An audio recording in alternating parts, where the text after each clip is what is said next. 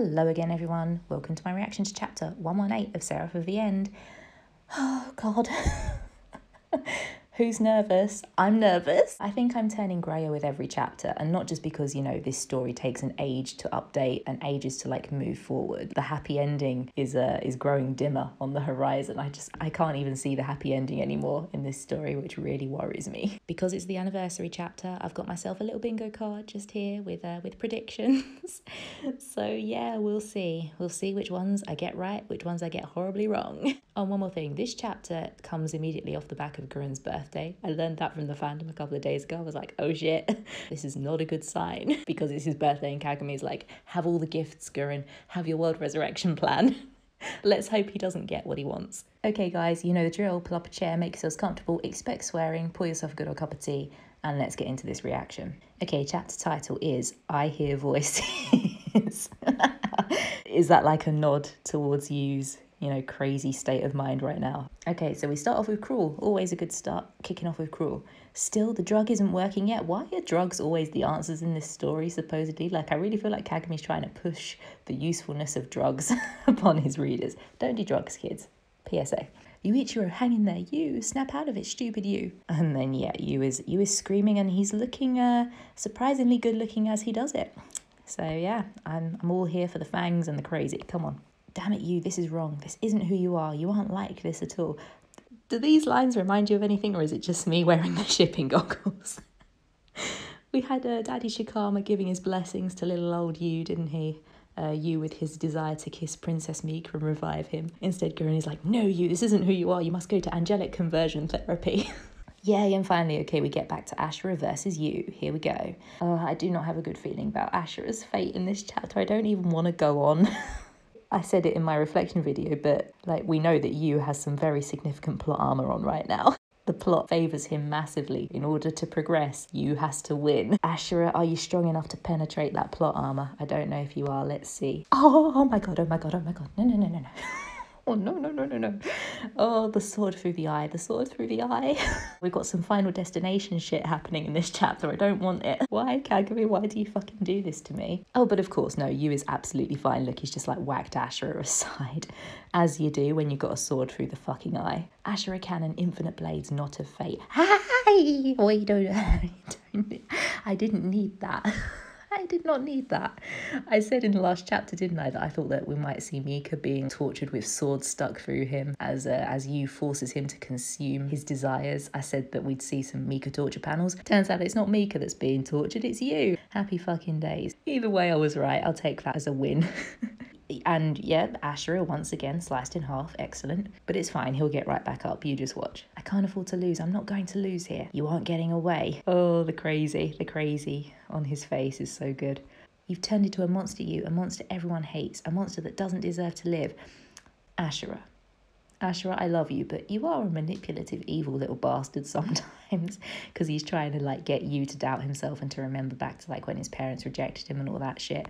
Remember that you remember what they said? Yeah. Before, what everyone else used to call you. My parents call me a devil. Yeah, here we go. Here come, here come the fucking flashbacks. I'm sorry, I'm really tired of the same flashbacks. Are we ever going to get like flashbacks that, you know, show us something new? More ancient Greece flashbacks would be amazing. I feel like the plot hasn't gone very far. We've had like four months now since 114 when you chose Mika. Then 115 was him confirming that he chose Mika. 116, I can't actually remember. 117 was him fighting Ashura. Now we're on 118. Like it doesn't feel like we've moved very far fucking forward, which is really depressing. A devil's child deserves to die. Yes, killing you is the right thing to do. It's for the best. After that, the only thought that crossed my mind was that life had no value. I'm alone, I'll always be alone. And then Shikama just rocks up for some reason. What? Does he just rock up there in like Yu's little cage? Like what? What is Shikama? How can he just like appear in random fucking places? Like, is this implied that he's like physically present in front of you? I don't get it. I don't get it. Never mind, it doesn't have to make sense. It's Seraph of the end. Don't worry, it won't be long now. Soon you'll meet the one who'll give you meaning. Hi, of course, it's baby Mika. Baby Mika. Oh, My trauma is healed. my trauma of seeing you being stabbed through the eye is completely healed because I'm gazing upon the perfection of baby Mika. Like, look at that little face. He's so cute. He's so cute. He's like a little ball of sunshine. You certainly think so. Look, like Michaela's smiling. Hi. And Yu's like, oh. Oh, hello. Those are all fake memories, manipulated emotions. Fake memories, that's a weird phrase. Like, as in the memories themselves were like implanted into Yu's brain, like they never happened, or like fake, as in Shikama manipulated that situation to happen because of his grand plan of bullshit. I don't know. Open your ears, listen. Can't you hear your real family?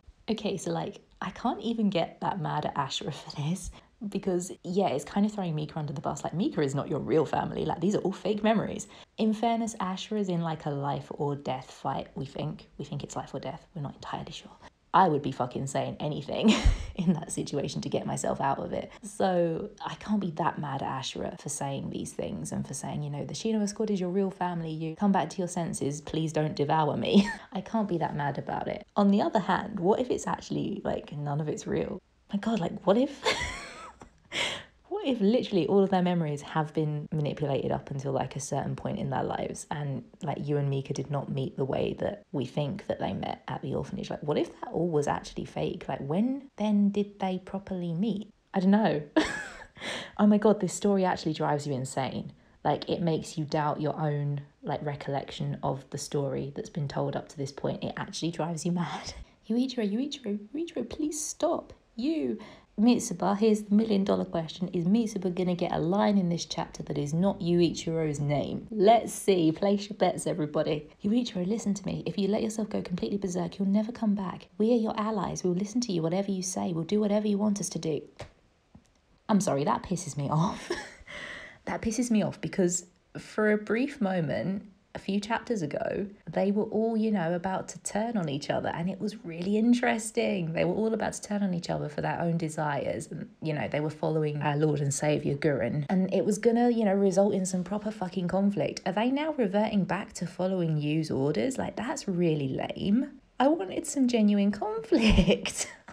Disappointed. You're going to offer me drama and then snatch it away? I don't think so. That's really cruel. Don't worry, the drug is kicking in. It'll work. Drugs are the answer. The power of his demon is waning and he's coming back to his senses. Keep talking to him, he should be able to hear you. Yuichiro, Yuichiro, please, I'm sorry. This is my fault. I pressured you. I know how important Mikaela is to you, but I still pushed you to bring my family back. Okay, Yoichi's face is adorable there. Oh, why must these characters look really cute when they're in distress? I feel like a horrible human. Me too. We should have talked it over. Your family my family, they're all important. We needed to talk. Oh my god, Mitsuba's got lines. Mitsuba's got lines. I mean, they're not very important lines. It's the same stuff we've heard a few times over, but Mitsuba's actually saying something. Yay. I mean, in the end, what do we think, guys? What's the bet in that the F word is going to get dropped on the next page? I haven't scrolled yet. I haven't scrolled. I would bet a million, million, million pounds that the F word is about to be said. In the end, right, we're family too. Of course we are. Of course we are, guys. Never mind the fact that we just, you know, pulled our swords on each other and we've got this irreconcilable choice in front of us. Like, it's perfectly fine. We can definitely go back to the way things were. on the one hand, like, I can't be that mad at them because I'm thinking, well, Guren was ordering them in the moment to get their swords out and to turn on you and maybe they did have some like you know hesitation. But i can understand it maybe from like mitsuba and shinoa's perspective because they naturally would have had like more reservations about going after you because shinoa doesn't have like any family to resurrect and mitsuba's like got her parents but like it's not the same as for example kimizuki and his sister who's been like his driving force throughout the whole story. And the same with yoichi you know with his dead sister. There should be a split there you would think right? I just don't like the way that this is being walked back because it had so much promise and potential if they did turn on each other, like at least for a substantial period of time. You know, I would have no problem with them getting back together in the future. But it looks like this is like a genuine change of heart that they've had and they're just walking it back. I don't know. I don't know. I'm just disappointed. Me, my sister, we're all your family, so quit this crap and come back to your senses. Shinoa, Yuichiro, please. Oh, oh. Please don't go anywhere without me. I just can't. I can't go on living without you. Okay. I'm not a Yunoa shipper. I used to be actually back in the day when I watched the anime. I did like them together. I've always thought that they looked good as complementary character designs, and I really liked Shinoa in the beginning when she had like her sassiness. I loved it. I thought she was a good kind of uh, counter to you. I really liked the way that they played off each other. I'm not a shipper of that anymore, as you guys know. you know, you know which ship I'm on now. However, that panel is beautiful. Like, look at the way that that is drawn. Like, the kind of sincerity as she's holding him, like the emotions in her face. I can't hate that panel. I can't hate that panel at all. I think it's really beautiful, actually. And uh, yeah, the poor girl, I just want to give her a hug. Like, poor Shinoa. Uh, what is going on with. Are they. have they both been cut in half? What is going on in that fucking panel? Enough, stop this. You aren't alone anymore. If you can't hear their voices, then you really are just a monster, a puppet Shikama Doji made to dance to his tune. All of them, they're there for me. Right, I'm not alone, not anymore, exactly. Are you back to your senses? It's about time. Yeah, then quit this crap, jeez. Sorry, Ashura, I wore you out. You're telling me. By the way, I've been sane this whole time. oh, amazing. fucking amazing. We've seen it before, right? We saw him trick Shikama Doji. We saw it back in chapter 70 something. We knew he was capable of it, but yeah, I was I was tricked here. I thought he'd fucking lost it. Oh my god, okay, yes, okay. I'm sorry, I, sh- I, shouldn't I shouldn't be cheering for this, should I? That's really fucking weird. But like to see you like go and bite someone, like that is fucking awesome.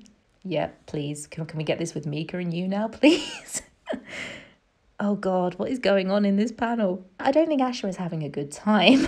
Ashura is not loving life right now. Life. That that was a bad choice of word. oh my God, he's like disappearing. What is going on there? No, cruel. I, I'm sorry. Oh, Ashura, no. Oh, and he's gone. Yeah, he's actually just disappeared. The plot armor was just too strong for Ashura to penetrate, even with his infinite blades and now Yu's back to his like normal smiley self and the seraph is completely gone and that's great. So like what was he doing? Was he like channeling the seraph to try and suppress ashura like to use its power but he has control over it now? I mean i suppose he did go through a load of seraph training didn't he? Like where he was trying to control it. So maybe he's got to a point now where he can control the seraph and still be sane. Boy winning is kind of empty that's a nice panel with him like sitting in like the empty inner world and then him saying winning is like meaningless. I like that. I like that visual representation. Also, is it like foreshadowing for how he's going to end up? Because that's fucking depressing. Our boy is back. Best boy's back. Okay, happy days. Oh, you, you, you're in trouble with the wife. That's the look I give to my partner whenever he fucks up. Did you eat? just like straight up murdered Ashura? And that's the first question out of his mouth. ah, you look pissed. Yes, he does, you. Well observed. Are you mad at me? Yes, I'm mad. I've been mad the whole time. Didn't you hear? Yep, I did. I heard and I don't give a fuck. You are not dying, Mikaela. I'm so gonna kick your butt. So you're going to betray everyone and bring me back to life, even though that's not what I want? I don't know what to make of this exchange. This is a weird exchange. Mika doesn't seem that angry here. Like that panel in the top left is like him just kind of, you know, saying, oh, it's you being a dumbass again and not listening to me. It's a good sign in a way because it means that hopefully they're not going to like turn on each other and become proper enemies, which is something I was really scared of. On the other hand, it feels a bit underwhelming. The whole thing in 115 was him spilling his guts and saying that he doesn't want you to become a monster. He doesn't want you to sacrifice humanity for him. He wants to, you know, just be allowed to rest, basically and we saw how meaningful it was in 115 but this this reaction doesn't feel right. Like the tone of this feels too light unless the reason why Mika's reaction is kind of muted here and he's not like you know completely furious or breaking down is because he has realized that he's got this competing desire to live as well as the desire to die. And that's why his protests here are kind of half-hearted. But in which case like show us that he's had that revelation show us that that's something that he genuinely feels now. It's like, okay, Yu has made me see sense. Like, I do deserve to fight for myself and I have the right to live. Something about this doesn't feel right tonally. I don't know what it is. You're going to blindly trundle along with everything Shikama Doji tells you. Nope. you, yes. I'm going to do my own thing. Yes, you. Yes, you. Not what Guren says. not what Shikama Doji says. I'm going to do what I say. Again, I have a problem with this as well. I don't know what, what's wrong with me during this reaction. I don't know what's wrong with me. I have a problem with this because Yu is saying that he's going to do all of this according to what he wants. Again, he's ignoring Mika, right? Surely it should be what they want. And then Mika says, Do you have a path you wish to take then? What are you thinking? I don't know, this comes across really one sided when it shouldn't be. I don't know, I don't like this. Sorry, guys, I, I thought I would be more on board with this whole interaction, but I'm not. I don't know why. I do. I only want one thing, and that's to protect my family from this craptacular world. you just using stupid fucking words as usual. craptacular world. I will not be adding that one to my vocabulary. Help me with it, okay? Again, like pushing Mika into the role of helper and not like equal, not partner. I yeah, this bothers me. I'm sorry, this really bothers me. But yeah, then Mika agrees, but it's like reluctant. Yeah, I don't I don't like this. Don't like this at all. And then Yu wakes up and oh, Shinoa's like looking at him. Oh, she, I'm sorry. Like Shinoa's so cute. Look at her face. She's so cute. I'm sorry, Shinoa. Okay, so that's like an expression of realization on Shinoa's face. How much did you hear during the whole debacle? Did he hear Shinoa saying that she couldn't live without him? And is he saying, sorry, I can't be what you want? That's probably a reach, I know. But that panel is really kind of emphasized. It does look like in her eyes like she's realized something in that panel. And oh, look, and then there she starts to cry before anything's happened. No, no, don't. Don't you dare say it. I'm leaving. Oh, oh, she Shinoa. Oh, I feel so bad for her. Like, girl, we've all been there. We've all been there. We've all been there where, you know, you want someone and they're just not that into you. oh, it's horrible. It's horrible. I want her to be happy. And yeah, then that's it. He's gone. Boy's gone. He's escaped. Woohoo. You don't. Yuichiro. Oh my god. So he's like gone literally 15 floors up. Well, there's me thinking he's to have some trouble fucking escaping. He's just like, no, I'm just to, I'm just to one punch man through this. oh my god. So I think then that we must be on the verge of the father son reunion because I think that he's probably going to go now and meet up with uh, with Daddy Shikama and hopefully get some answers. Be great if we did. be great if we could go and get some answers. But yeah, just just mixed feelings about this chapter.